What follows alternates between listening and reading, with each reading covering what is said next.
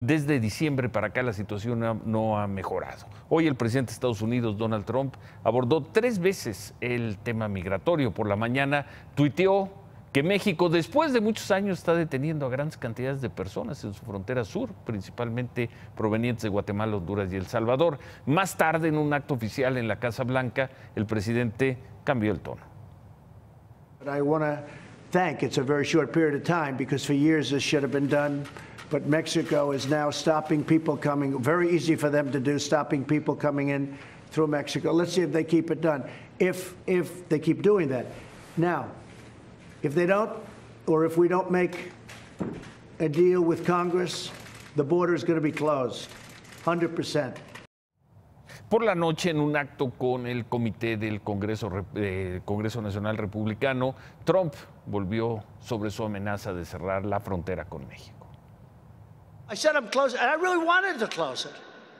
But now Mexico is saying, no, no, no, first time in decades. We will not let anybody get through.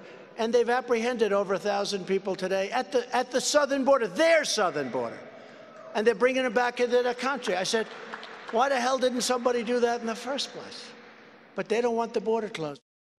En ningún lugar el gobierno mexicano, el gobierno del presidente López Obrador ha dicho no, no, no, como dice Trump, no, no, no, ya no vamos a dejar pasar gente. Pero además el presidente Trump habló de mil detenidos. ¿De dónde sacó la cifra? Porque consultamos a las autoridades de migración y nos dicen que las cifras se actualizan mensualmente. Quien salió a responderle a Donald Trump fue el propio canciller Marcelo Ebrard. Aseguró que el gobierno de Estados Unidos no tiene intención de cerrar la frontera. Explicó que la política migratoria de México no cambiará, por lo que no habrá detenciones de migrantes. No habrá detenciones de migrantes. Y habló de la situación en Ciudad Juárez, donde la tensión generada por el tema afecta los cruces entre esa ciudad y El Paso, Texas. Imagen Noticias con Ciro Gómez Leiva, lunes a viernes 10.30 pm.